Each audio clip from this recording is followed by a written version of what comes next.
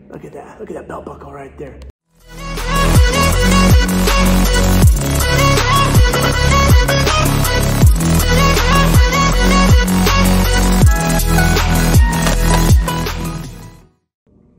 Howdy, y'all. It's your favorite trainer with a belt buckle.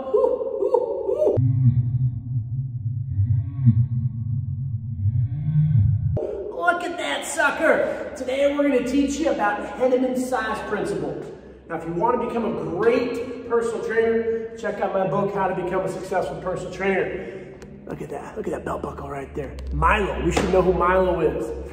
Today we're going to help you understand, better understand, threshold force motor unit recruitment with Dr. Elwood Henneman. Now this scientist is a badass. Back in the, boy, like early the 15 and 1915s around there, and he was playing around with some cats. They were checking out the gastroc and the soleus. Boom! Look at that sucker. Gastroc, soleus is behind it. Soleus is more type 1. Gastroc is about 50-50.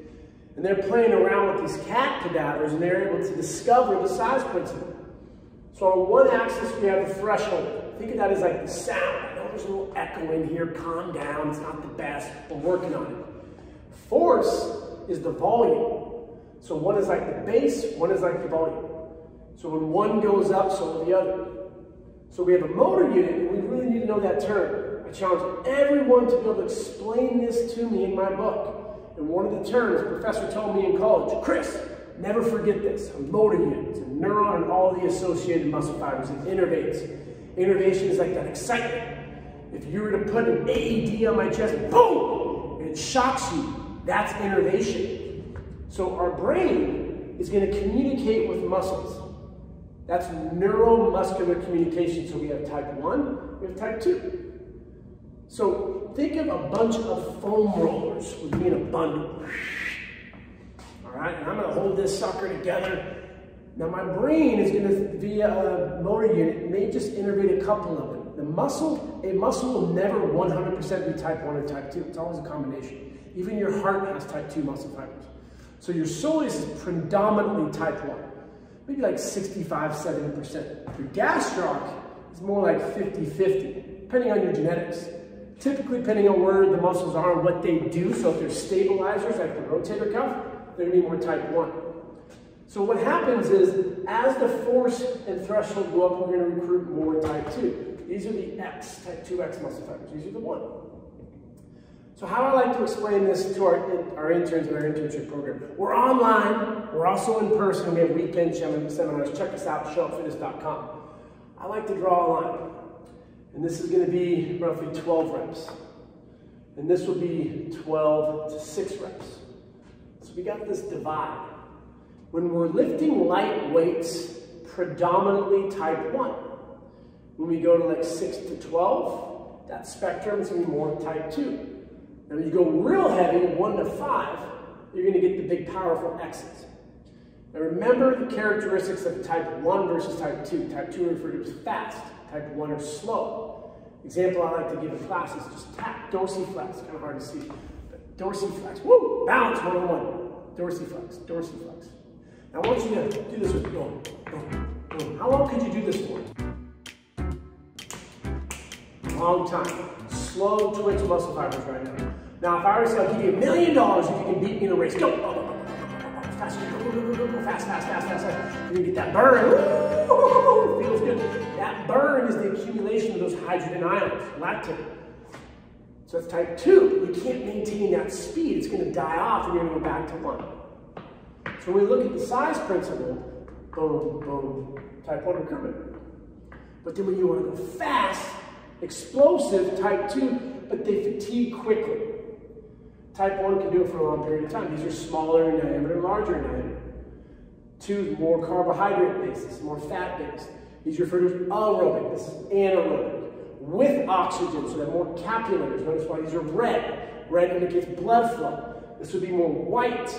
That's going to indicate not, not, not that much blood flow. So with the size principle, we can use this for how we train our clients. Now my question is, what are the three ways we can engage type 2 muscle fibers? What do we got? Number one is going to be heavy weight. Heavy is relative. Because a lot of your clients will lift a weight they've never done before and be like, wow, that was heavy as they did it for 15. But let's take a look at the size principle. That's going to be right around here. So really, you're still getting your type 1 muscle recruitment. I like to say this is like a 70% going down. When you can get 15 reps, that's about 65. When you can do 20 reps, that's 50%. 50% of what you're capable of. What would happen if you had a 50% of exam? It's an F. This would be 85 to 100%. These are based off of your percentage of rep maximum. But we don't want to go heavy with that one right away. Not because you're going to get big and bulky. It's because you need to strengthen the ligaments and tendons. So that's why we start with movement competency on the bottom.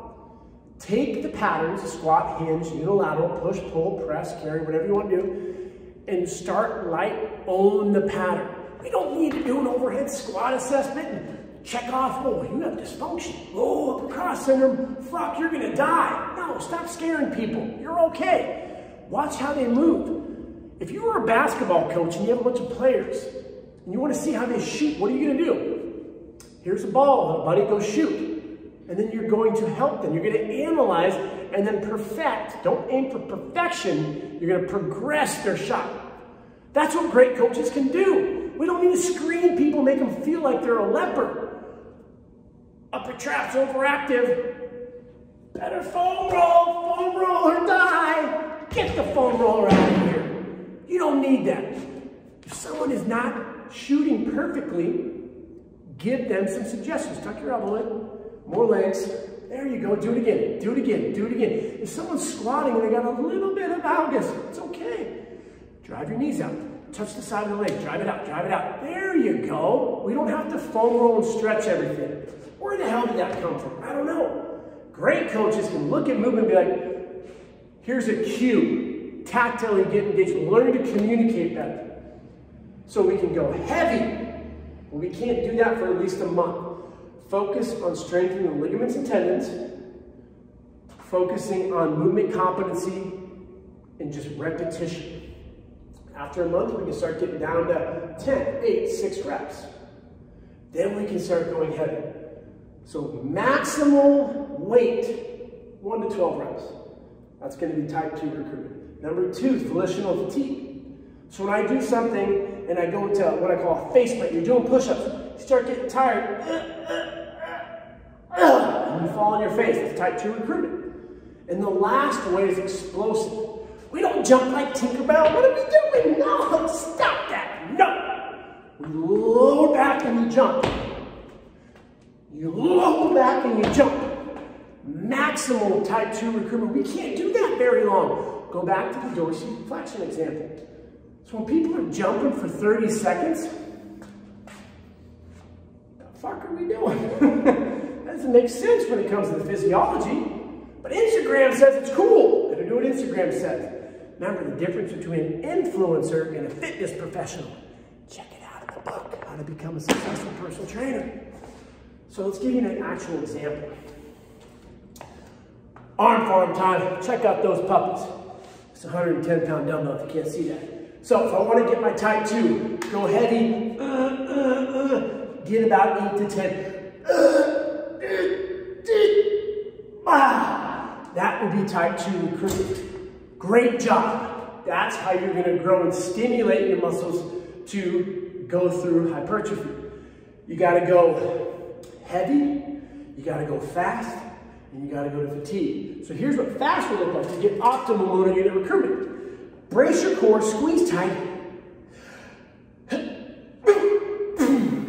so notice how that speed was faster than me just doing the reps. That would also engage my type 2 muscle fiber. So we need to go through a needs analysis and assess the client. What is your goal? If you're an athlete, should we be going to volitional fatigue? Eh. Want to get jacked? We can still grow muscles by looking at the mechanisms of hypertrophy tension, which is the load, time under tension as well, damage, which could be the volume, but also metabolic stress.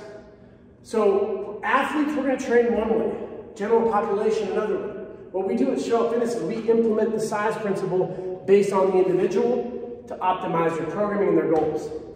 So to review, Henneman size principle, you need to know this. What? My client's not to ask me about Henneman. Client's not going to ask you about Milo either. They're not going to ask you about the 206 bones of the, of the body, 650 of the muscles. What that big fucker right there is called gastrocnemius. Woo! But when you know it, you're confident. And when you're confident, you just exude that to your client when you're going through the assessment.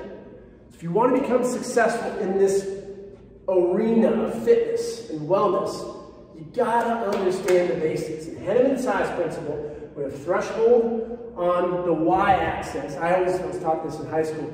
X, you're on your back like you're having sex. PC, better censor that one out. This is the x-axis, this is for force. As we go up in weight, the heavier the load. 65, 70, 75, 80, 85, 90, 95, 100. More motor unit recruitment. A single neuron cell and all the associated muscle fibers it innervates. That's a motor unit. Know the difference between type 1 and type 2. So if you want to optimize your results, your client's results, understand the size principle. Make sure to like and subscribe. Follow us on Instagram. We got Show Up Fitness, Show Up Fitness Internship. If you want to become a great trainer, showupfitness.com. And most importantly, your favorite trainer with a belt buckle, check out my book, How to Become a Successful Personal Trainer. We will help you no matter where you are. All you got to do is show up. Woo!